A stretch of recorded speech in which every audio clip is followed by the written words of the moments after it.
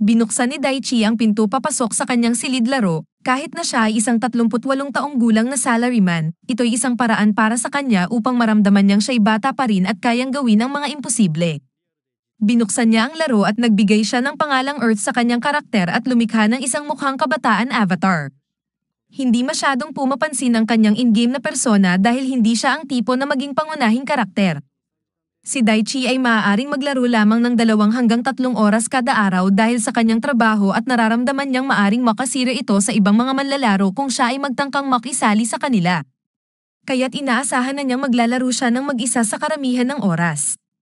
Upang lalo pang pigilan ang kanyang sarili na imbitahan sa isang party, pinili niya ang mga kasanayan tulad ng pambabala, kahit pa masama ang accuracy ng mga pana. Ang susunod na kasanayan na kanyang ginamit ay ang medisina, na walang silbi dahil mura ang mga potions mula sa mga NPC. Ang kanyang kasanayang, kick, ay walang espesyal na mga atake, at ang kanyang, wind magic, ay mahina laban sa mga spell ng apoy at lupa. Ang kanyang kakayahang magtago ay may mataas na MP cost at nawawala ang bisa kapag gumagalaw ang manlalaro. Idinagdag niya ang long distance vision, production fingertips, woodworking, at cooking. Sa lahat ng ito ay nakumpirma na, pumasok siya sa mundo ng laro. Dahil sa araw ng paglulunsad, puno ang starting area, at napagtanto ni Earth na siya lang ang archer. Kinatok siya ni Ward, at tinawag siyang talunan at pinagtawanan siya dahil sa pagpili niyang pana bilang kanyang pangunahing sandata dahil alam daw ng lahat na ito'y walang silbi. Siya ay pinalalaglag ng may pang-iironya si Earth na nagpapatawa sa kanyang party habang umalis sila. Si Earth ay pumunta sa training hall at na-inspire sa lahat ng mga manlalaro na masipag na nagpapahusay ng kanilang mga kasanayan. Pumunta siya sa range upang mag-practice, ngunit ang kanyang unang tira ay napakababa. Nakikita niya na ang pana ay mas masama pa kaysa sa sinasabi ng iba. Ngunit hindi siya nawawala ng pag-asa at patuloy siyang nagpapaputok. Sa kanyang ikasandaang tira, naabot niya ang mga target at itinaas ang kanyang kasanayang pambabala ng limang antas. Nag-practice siya ng kanyang wind magic at nakuha rin niya ito sa parehong antas. Nag-focus si Earth sa kanyang mga kick at pina-level ito sa lima hanggang dalawa. Nagpa siya siyang lumabas sa mundo pagkatapos niyang maabot ang minimum na antas para mabuhay. Ang kanyang kasiyahan ay agad na nabasag nang lumabas siya at makita na ang mga hunting grounds ay sobrang puno. Pinili niyang mag-focus sa pagkolekta ng mga halaman at ginamit ang kanyang long-distance vision para hanapin ang mga ito. Nagsimula siyang mag-ani ng mga halaman ngunit hindi niya alam kung ano ang mga ito, kaya bumalik si Earth sa lungsod para ipa-appraise ang mga ito. Sa unay nahihirapan siya ngunit naging bihasa rin siya at inayos ang mga ito na nagpapataas ng antas ng kanyang kasanayang medisina sa antas tatlo. Nang ma-realize niya, nakakuha pala siya ng suffocation herb na nagiging sanhi ng paghinto ng paghinga ng kung sino mang makakain nito. Nagreklamo siya na hindi dapat mayroong ganitong halaman sa unang area Si Earth ay pumunta sa isang tindahan ng mga potion at ginamit ang kanyang simulaing pera upang bumili ng beginner's medicine crafting set. Gumawa siya ng kanyang unang healing potion sa pamamagitan ng pagdurog ng halaman at pagsasaing ito sa malinis na tubig. Natapos ang potion kapag idinagdag na ang init. Kapag gumawa na siya ng isang item, binibigyan siya ng pagkakataon na gawin ito ng batch para sa mas mataas na kalidad, pero ang kapalit ay pagbaba ng kalidad pumili si Earth na gumawa ng mga potion at antidotes bilang preparasyon para sa kanyang pangangaso kinabukasan. Ang prosesong ito ay nagpataas ng kanyang kasanayang medisina at production fingertip skill. Sa sumunod na araw, lumabas siya sa field at natuwa siyang makitang mas kaunti na ang mga tao. Ibig sabihin, hindi na niya kailangang makipagtalo sa mga manlalaro tungkol sa mga halimaw. Habang iniisip ito, may lumitaw na rabbit horn mula sa damo. Nagload si Earth ng kanyang pana at dahan-dahan siyang nag-aim dahil mahirap itong i-reload. Nang siya'y magtira, umiwas ang nilalang. Nagmadali itong lumapit sa kanya para sa counter, ngunit nagawa ni Earth na tamaan ang isa sa mga harapang paa nito. Mas lalong nagalit ang rabbit horn dahil dala nito ang pagtaas ng lakas ng kanyang pag-atake. Binasag niya ito gamit ang Mortal Kombat level na double kick na agad itong pinatay. Nahulog ang pelt at karne ng halimaw, kaya't hindi napigilan ni Earth ang kanyang tawanan matapos makakita ng pangyayaring iyon. Noon pa man ay nakalaban na niya ang halimaw at hindi niya naranasan na magingay ito ng ganoon. Ginaya niya ang tunog, na pakiramdam niya ay katuwaan ay katarungan. Ang kasama niya na si Millie ay humingi ng paumanhin sa kanyang kaharian nang mapansin na hindi tuwang-tuwa si Earth. Si Zai ay nag-iisip na cool si Earth at opisyal niyang ipinakilala ang sarili at si Millie. Nagpadala sila ng friend request sa kanya na tinanggap niya. Ibinunyag na ni Zai na magiging top comedic duo sila, ngunit hindi interesado si Earth.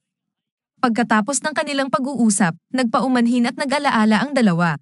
Naramdaman ni Earth na kailangan niyang mas maraming karanasan dahil masyadong matagal bago niya ma-eliminate ang kanyang unang target. Sinubukan niya ulit, pero napansin siya ng mga rabbit horn mula sa kanilang mga blind spots. Ngunit nagtagumpay pa rin siyang makuha ang kanyang ikalawang tama gamit ang kanyang wind magic. Naalala niya na mayroon siyang kasanayang sneak, kaya't ginamit niya ito upang itago ang kanyang presensya at nagpakita lamang siya kapag handa na siyang magtira. Nakakamit niya ang mas maraming tagumpay at nagkaroon pa ng critical hit na tinawag ding secret attack na pinpoint hit. Natutunan niya na ang paggamit ng dalawang kasanayang ito ng magkasabay ay nagdudulot ng malakas na atake. Ito ay nagtulak sa kanya na malaman ang susunod niyang hakbang. Nag-log out siya mula sa laro at humiga para sa ilang tulog dahil may trabaho siya kinabukasan. Pagkatapos, siya'y nakabalik online para sa kanyang susunod na sesyon at kumuha ng isang piraso ng tinapay, ngunit napagtanto niyang ang pagkain na binibenta ng mga NPC ay hindi masarap.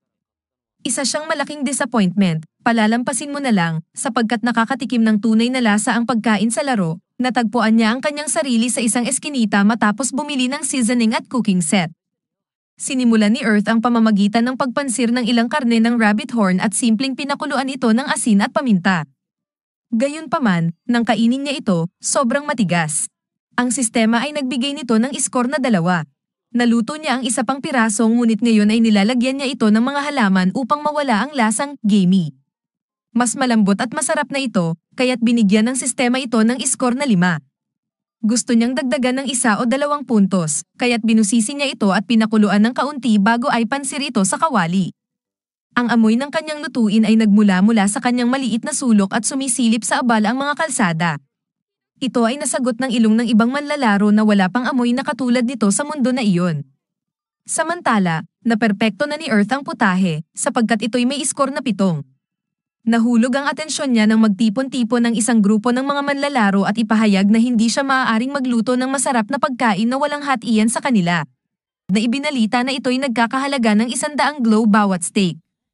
Ito ay dalawampung beses na mas mahal kaysa sa pagbili ng tinapay mula sa mga NPC. Siya ay namangha na walang reklamo ang mga tao sa kanyang paligid at nagmumula sa kanila ang sigaw na ibigay sa kanila ang rabbit steak kinukutsa siya ng kanyang mga bagong customer dahil sa paghahanda ng kanilang mga order. Gayunpaman, nalamangan na niya ito at umabot sa antas 20 sa tulong ng cooking promotion subskill na nagpapabilis ng kanyang bilis sa pagluluto. Mayroon pa silang pampatapos ng linya na pinalagay para sa mga customer. Pagkatapos makatakas mula sa pagkakasakit na iyon, gumawa siya ng kanyang sariling pana dahil wala nang nagbebenta nito dahil sa kakulangan sa demand. Ginamit niya ang kanyang woodworking skills upang gawin ang pinakasimple na pana mula sa isang piraso ng kahoy. Mas malakas ito kaysa sa inialok sa kanya, ngunit mahina ito laban sa alinmang kalahating magandang halimaw. Matapos matutunan ang proseso, naisip niyang gawin ng isang compound bow mula sa malikot na kahoy na nasa gitna ng dalawang piraso ng matigas na kahoy. Ito ay nagbibigay sa kanya ng lakas at kakayahang mag-angat na nagpapataas ng kapangyarihan nito na i-reflect ito sa tatlong beses na pagtaas ng attack power kumpara sa kanyang unang pagsusubok na may advanced weapon. Nagdesisyon siya na kumuha ng armas na nagpapataas ng antas ng kanyang crafting skill. Binalikan niya ang kanyang stats bago siya nagmadali sa kanyang vending machine upang punuin ang mga uncommon grape-flavored healing potions. Umaasa siyang magugustuhan ito ng mga tao. Mayroon din siyang tanyag na steak at iba pang mga pagkain na inaalok kinakailangan ni Earth ng pera pagkatapos bumili ng kanyang mamahaling armor. Siya'y lumabas upang subukan ito at napagtanto ang ilang mga higher level monsters. Ginamit niya ang kanyang sneak upang makalapit sa lobo at pinatumba ito sa pamamagitan ng isang tira at sinipa niya ang isa pang aso.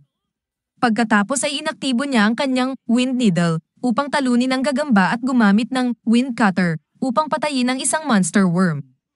Lahat sila ay bumagsak at gumamit ng full loot.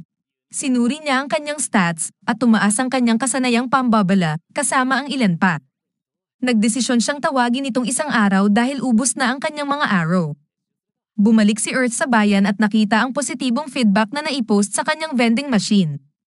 Subalit kaunti lamang ang nakakaalam na ang mundo ay hinaharap na isang marahas na atake mula sa isang bagong sistema at ang mga manlalaro ay naguguluhan sa pangunahing lugar, naghahanap ng sino mang magbebenta sa kanila ng mga potions. Sila'y naghahanap ng sino mang may kasanayang medisina. Handa silang bumili ng mga potions sa mataas na halaga kung mayroong may-ari nito. Nalilito si Earth sa nangyayari dahil ang mga NPC ay nagbebenta ng mga potions. Tinawagan niya si Zai upang hingin ang detalye. Sinabi niya na ang mga NPC ay nagkakaubusan na ng potion. Sinabi ng lalaking may pulang buhok na masamang balita ito para kay Earth dahil tatanong-tanong sa kanya ang mga tao para sa potions. Nang makakita ang mga nag-aalala na manlalaro kay Earth, nagpunuan nila siya, nais na bumili ng potions. Ipinaabot ni Earth sa mga tao na magbebenta siya nito para sa apat na pong glow, at lahat sila'y pumayag. Okay lang sa kanila, kaya't itinalaga niya ang maximum na bilang ng potions na ibibigay bawat isa. Masayang masaya silang marinig ito at nagmadali sa kanya. Maikli pagkatapos, dumating si Zai at Millie. Nag-aalok ang lalaking may pulang buhok na alalayan ng crowd control, habang inalok naman ni Millie na mag-aalaga ng pera para makapag-focus siya sa paggawa ng potions. Malaki ang pressure sa kanya dahil halos walang kumuha ng kasanayang medisina dahil iniisip nilang ito'y walang silbi. Ayaw niyang maging malungkot ang mga manlalaro dahil walang may-ari ng potions, kaya't gumamit siya ng batch crafting upang makagawa ng marami. Hindi na nagtagal, nauubos na niya ang mga medicinal herbs, kaya't kailangan niyang tanggihan ang mga bagong customer. Pangako ni Earth sa kanila na magkakaroon pa ng higit kinabukasan. Pumunta si Ward at ang kanyang party at inutos na ibigay sa kanila ang lahat ng natirang potions. Pinaalam ng pana na ang natitirang batch ay para sa mga taong nasa pila. Lumapit ang server bully kay Earth, ngunit pinigilan siya ni Zai at pinakiusapan na huwag silang guluhin. Inuntog si Zay ng isang suntok ni Ward at napahiga ito. Pinanggako niya na ipapakita sa kanila ang kanyang kakayahan kung hindi sila susunod sa kanyang sinabi. Ipinahayag ni Earth ang parehong damdamin. Itinuro niya ang katotohanan ng sitwasyon at itinuro sa mga tao na nasa pila na naghihintay na parusahan si Ward kung sasaktan niya ang kanilang potions. Nag-alok ito na bilhin ito sa halip, ngunit ipinaliwanag ni Earth na kung titigilan rin ng mga NPC ang pagbebenta ng mga weapons at armor, ang mga serbisyong ito ay manggagaling sa mga manlalaro. Kung gagambalain niya ang lahat, hindi siya bibigyan ng serbisyo ng mga ito. Ni si Ward dahil sa pagmumura niya, kaya't hinamon niya si Earth sa isang duel, at tinanggap ito ni Earth, kahit pa may protesta mula kay Zai.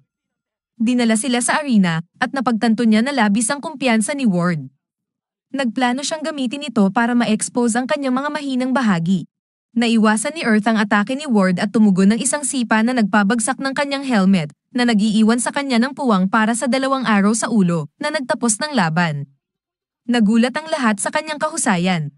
Nagbigay siya ng matinding tingin kay Ward na mabilis na umalis kasama ang kanyang walang malay na lider. Impresyonado si Nazai at Millie.